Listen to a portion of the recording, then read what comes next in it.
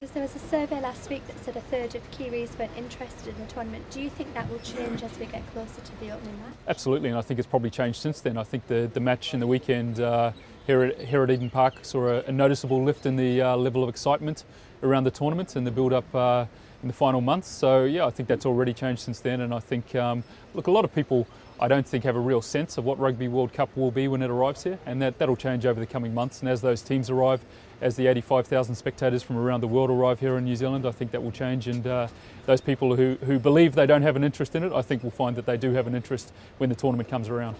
For you, what matters most to get right with this? I think it's continuing the success of previous Rugby World Cups and also putting on an event that New Zealand can be proud of and showcases New Zealand as a, as a host of, of major events. Um, it's a huge event, probably the biggest that New Zealand has ever hosted, and for us it's, uh, it's critically important that we get uh, Rugby World Cup right. We only have the chance once every four years to showcase our sport and drive the revenues from that back into the game. So it's, uh, it's something we need to get right for the sake of rugby and for the sake of New Zealand.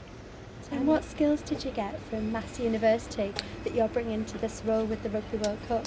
I think it gave me a good base understanding of the industry itself and the, uh, the crossovers with the, uh, the standard business and management uh, areas of, uh, of work life. I think uh, at that time and still today there's a, there's a real balance between the sporting side of the industry and the business and management side of the industry and I think those both need to be understood uh, in studying the course. I was looking to get into the sport management area and uh, Massey was uh, leading the way in terms of that area in New Zealand at the time and I thought it was a course which, uh, which would do me, uh, set, set, a good base for me to, to move into the professional world of sport management. In this position uh, I joined in 2002 so one year prior to Rugby World Cup 2003.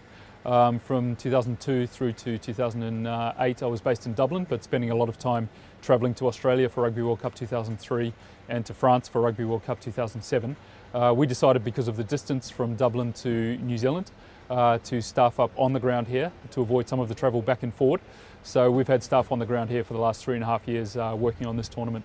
Um, after this we move on to London. Rugby World Cup 2015 is in England so we will uh, set up our office in London in January of next year. We'll go through a debrief process and a wrap-up process throughout November and December here in New Zealand and then we'll set up our office in London in uh, January 2012 and start work straight away on uh, Rugby World Cup 2015. Do you dream about Rugby World Cup?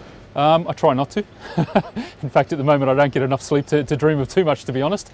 Um, but uh, no, I, I, try not to dream of it. Everyone has to switch off it sometimes, and I think uh, I don't think my wife would enjoy it so much if I took my job home every night um, any more than I have to. So uh, I try not to dream about it and try to uh, at least get some time to, to switch off at the end of the day.